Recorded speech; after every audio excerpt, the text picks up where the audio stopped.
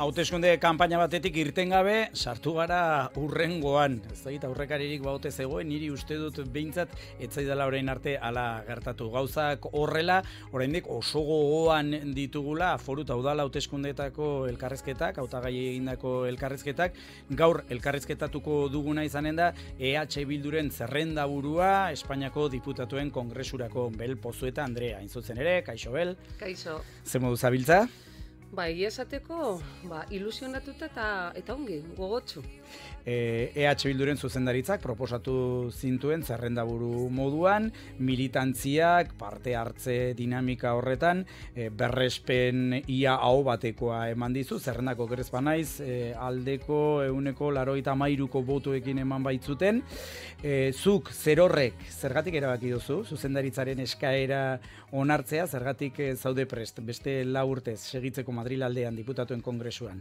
Bueno, badaude arrazoi desberdinak. Orain etortzen nintzenean e, nerekidearekin hitz egiten esaten non, bueno, e, badaude gauza askok egin ditugula. Eta e, amaitzeko, ongi amaitzeko ere oraindik e, txintxilikatuta geratu direnak ba, amaitzeko. Eta gero beste aldetik ba, militantziagatik. Nik uste dut e, Euskal Herria Bildun gaudenok e, ardura hartzen dugula e, ez da postu bat betetzea baizik eta bueno, ardura eta egin beharra eta nik uste dut, bueno, horren Madrilen e, egon naizen bitartean ikusi dut badaudela gauza asko egiteko eta e, Euskal Herria Bilduren komunitateak ere ba, mantentzen duela erronka hori gauzak jarraitzeko egiten. Eta ardura hori hartu dut. E, nik neronek e, ikusten nuen, bueno, norbait atera behar zela, eta ja ikasita bidea, ba, ba, aurrera egitea. Maia pertsonalean, zer nolako lau urte izan dira, Madrid aldean eman dituzunak? Ba, behira, nik eh, aurretik e, etxean gutxi ematen nuen, den, bueno, nire lanagatik mugitzen nintzen asko e, goizean agian, ez dakit, legazpin dengoen eta ratzalean lizarran, hola zen. Orduan, bueno, ba, ez nau horren beste aldatu bizitza. Egoten nintzen etxean, edo egon naiz eh, Madrilen hiru lau egun, eta beste hiru lau egun etxean. Orduan, bueno, nik ondo eraman dut ez da izan oso neketsua, e, familiak ez du somatu ba, nere falta edo, eta gero arlo pertsonalean ere, bueno, nere familia nik uste dut ja aurrera doa bera bakarri nigabe ere, naiz eta denon artean osatu egon. Politikoki oso legealdi berezia izan da, izan ere, irurogeita emezortzitik lehen da bizikoz, koalizio gobernu bat e, izan da, lehen da bizikoz gobernuan sartu dira, e, pesoeren ezkerrera dauden indarre politikoak nola baloratzen duzu gobernu horrek egin duen lana azken la urteotan? Ba, bueno, niretzat esanguratsua izan da e, eskubiari aurre egitea eta eta e, gobernutik kanpo edukitzea eta hori izan da lortu duguna. Gero, lortu ditugun e, legeak aurrera ateratzea eta beti izan da, beti pesoeri presionatzen, saiatzen gero eta gehiago lortzen, askotan ez dugu lortu nahi genun aina, baina bueno, aurrerapenak lortu, eh, lortu ditugu eta gu beti izan du, egun, esaten dugu, ba, begiratzen badugu eskubien aldetik lortu ditugu aurrerapenak orduan. E, positibo, baina beti buruan gehiago egin daitekela. Izan ere, legealdi honek alaber ekarri du alako normalizazio bat alderdi sozialistaren eta EH Bilduren artean, ba Iruñan baita Madrilen eh, ere, egindako elkarlan hori nola baloratzen duzu? Ba, modu oso positiboan, egia esateko, hasieran agian kostatzen zen gehiago, ba, elkarre ezagutu behar ginelako, eta behin e, ezagututa, eta behin ikusita, e, beraiek adibidez eskartu egin dute asko, guk e, esaten genuna egiten genula eta egiten genula esaten dugula. Orduan, e, betetzea hori eta finko izatea eta etikoki ba, guk erakusten dugun seriotasunak ikusita beraiek hori asko baloratu dute. Negoziak, negoziaketarako nik uste dut olako jarrerak baliotsuak direla. Eta hori baloratu dute ondo. Eta zuen militantziari azaltzea erraza izan da. Elkarlan hori azaltzea izan ere beste tradizio batetik zato dituzte, duela horren ez horren beste, bazait, Espainiako erakundetan ez parte hartzera deitzen zenuten, ez da? Bai, baina nik uste dut, bueno, prozesu honetan deno joan garela ikusten merezi zuelak, ikusi dugu ere determin, determinanteak izan garela hainba gauzak ateratzeko eta e, militantziaren eztabaidaren artean egon dira baita ere gora berak, hori eh, ere onartu behar da, baina beti, bueno, e, gehiengoak aurrera egiteko e, eman digu hitza. Ingurumari horretan iritsi da presoen sakabanaketaren amaiera, besteak beste. Bai, hori gu hasi ginenean Madrilen eta planteatzen genuen ba gen euskalak hiru erronkak alde batetik e, eskerko eskerreko e, politikak aurrera egitea, eskubien aldetik aurrera egitea, jendea hobet, hobetzea bere bizitzan eta gero e, presoen e, presoen e, ga, e, gaia zerbait esateagatik guretzat erronka itzela zen, sufrimendu horrekin amaitzea eta kostatu da kostatu da ze behitu e, ia ia e, balegealdiaren e, bukaeran lortu dugu. Eta, bueno, nik uste dut zela erronka bat balkar bizitzarako, mm, gako bat hor zegoela gainditu gabe, eta, bueno, ba, gaur egun ikusten badugu batez ere familien eta presoen artean zer sentitzen duten eta nola ari, ari diren hori bizitzen, ba, benetan gainditu dugun e, ba, traba haundi bat elkar bizitzarako eta aurrera e, egiteko. Bai. Nafarroari dago kionez, lorpen aipamengarriena, nola baita esateko, aipagarriena, eh, ezkabako otorlekuaren inguruan, lorturiko... Ah? Ba bai, hori hain justu duela urte bat, e, San Pedro gunean nik uste dut, izan zela, etorri nintzela Madrildik esateko lortu genuela, ba, ezkabako e, gotorlekua, e, memoriaren lekua bihurtzea eta horrek suposatzen zuenak e, e, biktimendako. Eta hori nik uste dut izan dela talde memorialistaren eskaera luze ba, ba, urtetan egon dela hor beti, eta azkenean bueno, pues, memoriaren legearen e, tramitazioan eta negoziaketetan lortu genuen, eta nik uste dut hori balorean jartzekoa dela. Hori eta baita ere azken momentuan beste gauza esango nuke ba, e, trafikoaren eskumena. Hor urtetan ere egon dela ez maietan eta negoziaketetan, e, askotan aitzaki desberdinak aipatzen ziren, baina nik uste dut ba, borontate politikoaren eza hor argi eta garbi zegoela. Eta bueno, ba, aurrekontuetan aurten hori lortu dugu e, ja e, Nafarroara e, ekartzea eta bueno, ba, datorren hilabetean hasiko da ja e, garatzen edo e, eskuduntza. Esan bezala, legealdi honetako ezaugarrietako bat Madril aldean, EH Bilduren eta PSOEren arteko harremanen normalizazioa, eta hain zuzen ere horren kontura, sekulako egurra eman diote alderdi sozialistari e, tokiko hauteskundeetan, e, hor Espainialdean batez ere. Zer irutu zaizu gertatu den hori guzia? Bueno, eh, askotan esaten dugu eh, eskubi mediatikoak eta eskubiak nola erabili duen gaia, etaren gaia, eta, eta bueno, auspotzen, hemen Nafarroan hori ja nik uste dut jendeak ikusi duela nortzu garen, zer egiten dugun, nola jokaten dugun, eta zen nolako jarrera daukagun ere, elkar bizitzaren artean. Orduan, mamu hori erabiltzea e, Espainian balio, oraindik baliogarria da e, badirudi, boskar lortzeko. Baina hemen, bueno, niretzat iruditzen zait joku zikina eta e, lokatzan aritzeko eta benetan ez hitz egiteko politikaz.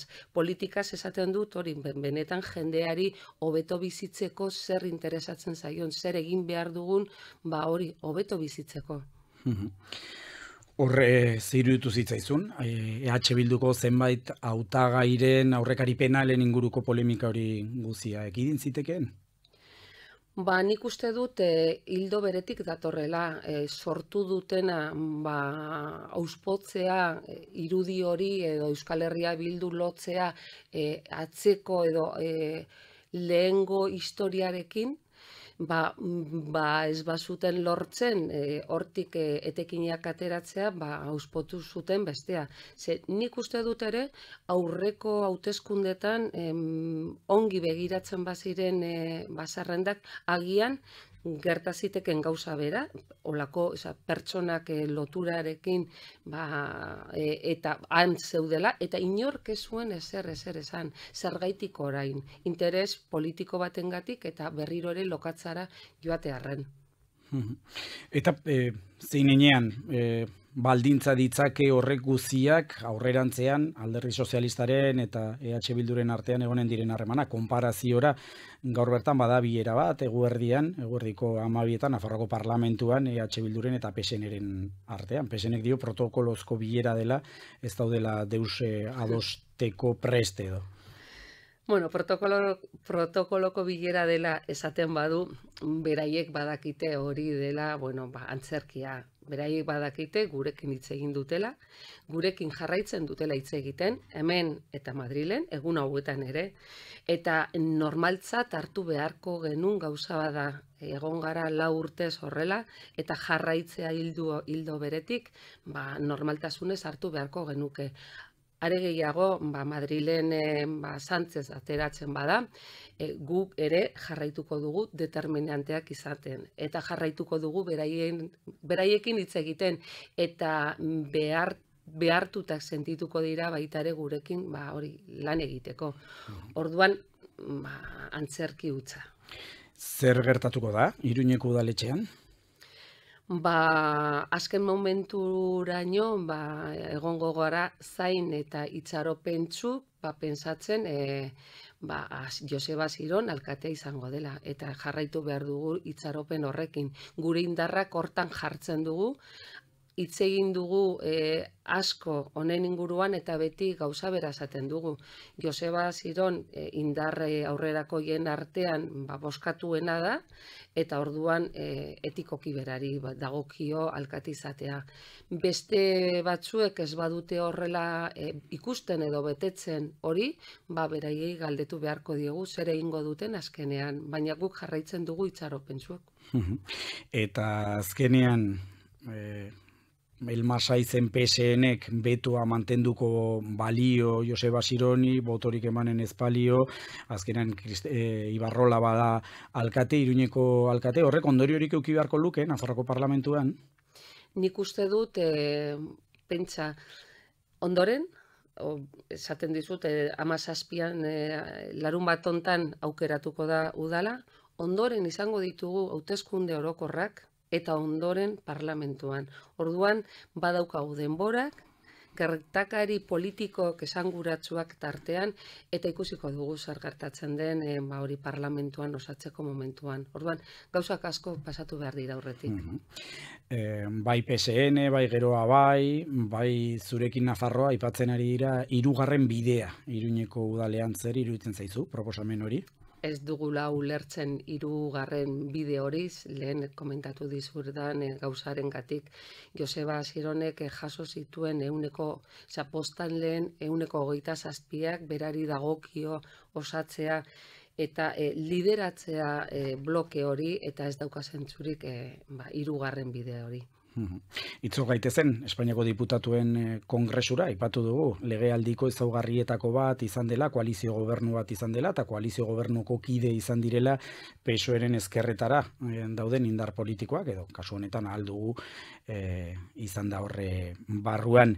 Zer iruditzen zaizu, Sumar eta Podemosen artean gertatzen ari dena? Ba, egia esateko ikusten dugun eh, panorama hori eta itxusia da.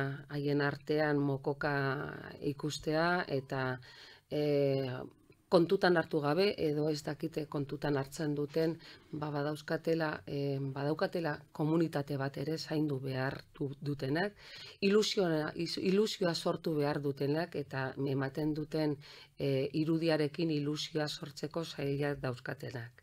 Nik uste dut egongo dela jende asko, ba, e, batez ere ba, hemen Nafarroan, Euskal Herrian, Katalunian, e, buruan izango dutela agian beste indar bat e, urrengo tarako, hauteskundetarako beste indar batzuk e, serioagoak e, ba, ba, boskatzea. Ikusita ze nolako panoramak erakusten ari diren. Bai. Eta zer iruditzen zaizu, Irene Monterori, ministroari, ezarri dioten betoa?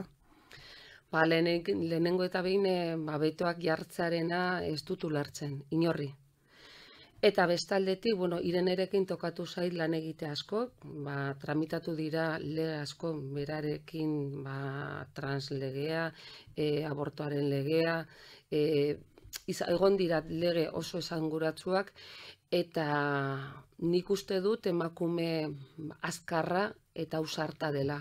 Eta, bueno, nire aldetik behintzat nik e, sostengo emango nioke. Beto horrekin lotura zuzena dauka, berdintasun ministro bezala egin duen lanarengatik pairatu den jazarpena, ez da? Bai, e, nik uste dut betoa hortik datorrela, ba, ez dakite medioak nola jokatu duten bere kontra, eskubiak nola jokatu duen bere kontra, sortu duten irudia, izan da etengabeko ba, e, e, borroka berearen kontra, batzutan ikustean bera eta belarra ere han biak elkarrekin eta komunikazio e, nola esaten den, bere gorputzaren komunikazioak zera dierazten zuten ere, batzutan pena ere sortzen zuten, ere, eta e, hori sortu dute, eta hortik e, edo e, horren irudiak e, balio, baliotzea beto bat sortzeko niretzat, bueno, itxusia iruditzen zait. Ez bada, bueno, politikoki ez zaite, ez dut konpartitzen. PPko buru, presidente gai, Alberto Núñez Feijok, dagoeneko esana dauka, Moncloara iristen bada, berdintasun ministerio hori deseginen duela, bertan bera utziko duela. Bai, ba, jarraitzen dute bultzatu duten dinamika eta irudia. Azken finean, beraiek lotzen dute ba, lege aurrerakoiak feminismoarekin, eta askotan esaten diegu, ba, zuek ez, oza, feminismoaren kontrari zarete jokatzen. Haiek esaten dute feminismoak aldar, feminismoaren aldarria ezkerra ez dugula. Ba, feminismoaren, e, feminismoaren nola, e, alma edo ez daki nola esateak, ba, emakumearen aldeko e, borrokak, eskubideak eta hori aurre egitea eta eta babesteak hori ez badugu egiten eta ez badugu bermatzen zer egingo dugu? Ba jartzen badute ba esaten badigute e, ministraritzak kenduko dutela. Haiek badakite hori ezin dutela egin. Hoiek badakite ba, hori aldar, aldarrikapen bat eta berme bat suposatzen duelak mantentzeko politika feministak. Eta horri egitera usartzen badira, hori nik uste dut hori, boxen eh, planteamendua dela eta ari direla jolasten kentzeko boxeri aldarri hori, baina ez direla usartuko. Espero dut. Eta espero dut hori ez gertatzea, horregatik espero dut ere Sánchez aurrera ateratzea gure laguntza eta eta eskerreko beste e, indarrekin. Espero dugu. Izan ere, zer iruditu zaizu, hauteskundeen aurregapena, Pedro Sánchezek egindakoa? Bueno, bapateko ba, e, gauza bat izan zen, ni Madrilera ni joalata, eta hola, oza, tramitatzen ari ginen lege bat, eta justo egun horretan batzorde bat bagenukan ba momentuan bada e, bertigoa, ez? Baina gero bestaldetik ba hori ba aztertuta logikoa da. Logikoa, nik uste logika osoa daukat. Bestela mantentzea eskubiko legeak e, indarrak e, adibidez PP eta Vox esaten eten gabe ba, e, gobernu ile, ilegitimo bat hemen dago eta nik uste dut ba, imaginarioa ez elikatzeko oberena ba, izan da berak planteatu duena. Hala, estrategia politikotzat bai. e, e, politiko moduan ontzat ematen bai. duzu. E, marko bat ezartzen du, ez da, eskuin muturra alani, Pedro Sánchez alegintzen ari da horrelako katzen, ez da? Alako marko bat ezartzen, zer irutzen zaizu, marko hori? Ba, nik esango nuke esku muturra edo gu. Ez, edo edo gu. Singularretik pluralera. Bai, guk eh, adibidez, hemen e, Nafarratik eta Euskal Herrietik e, badaukagu zer esan da, eta Kataluniatik ere, eta esaten dugu indar e, ezkertiar eta subiranistak e, berriro ere determinanteak izango garela, eta izan behar garela, horregatik garrantzia handia dauka hemendik indartsuak ateratzea, baldintzatzeko e, Pedro Sánchezen politikak. Beraz, badator, alako ziklo politiko berri bat, eskuinaren eta eskuin muturrearen eskutik, ala ez dator? Espero nik e, beti esaten dut itxaro pentsu izan behar garela, e, jendeak e, nik badakit astentzioa handia gondela eta garaitzarrak direla ere udak ba, jendeak animatzeko boskatzera joateko, baina arduraz, benetan, benetan arduraz jokatu behar dugu eta ikusi behar dugu ikusita zer den, zer planteatzen diguten eta hain nurbil edukita, ba, gure eskuetan dago ba, arresi bat sortzea eta horretarako determinanteak izango garela. Euskal Herria bilduk e, argi eta garbik. Mm, aurreko legialditan edo bosk, e, hauteskundetan esaten genuen ze garrantzia zeukan neraldetik adibidez Euskal Herria bildun e, nafartarren ahotsa izatea. Ba orain esaten dut ze garrantzia dauken e, talde, talde parlamentarioa mantentzea, ze horrek ematen dizkigu bai bideak, bai giltzak, bai jarraitzeko determinanteak izan da, eta bestaldetik ze garrantzia daukan talde parlamentarioak mantentzeko euneko amabostatko elanga hemen gainditzea. Eta Nafarroan ba, hortzi biliko gara. Horregatik, ba, nik uste dut saiatu behar garela e, boskak aurrerakoiak, e, feministak, euskaltzale, guzti hoiek danak e, elkartzea Euskal Herria bilduren e, e, ba, bosketan. Bai, garrantzia handia izango du. Bai. E, hasi altzarete, kanpaina diseinatzen, izan ere, abiatuko da ustailaren seiko gauerdiko amabietan, edo ustailaren zazpiko lehen minutuan, Nafarroan kanpaina antolatzea data horietan, ez da erraza izanen. Ba beira, nik uste du komunikazioko profesionalentzat erronka itzela izango dela. Nola heldu jendeari, ba, festa ere muetan, eta txipa aldatuta daukagunean. Orduan joango gara ikusten, baina nik uste dut oraindik ez dugu jaso, ba, erizpideak, baina logika batean murgilduta, e, nik uste dut kalea, kalea eta kalea izango dela estenatokia ba, jendearekin egoteko eta saiatzeko erakartzen bere bozkak. Hor ikusi beharko da, ez da, kanpotik bai. ere zote dato zen ekitakileak egitera San Ferminetara, bertego pixka bat ere ematen du horrek. EH Bilduko Espainiako Diputatuen Kongresuko Nafarroko zarrenda buru belpozueta, mi esker gurera urbiltzegatik. Mi esker zuri.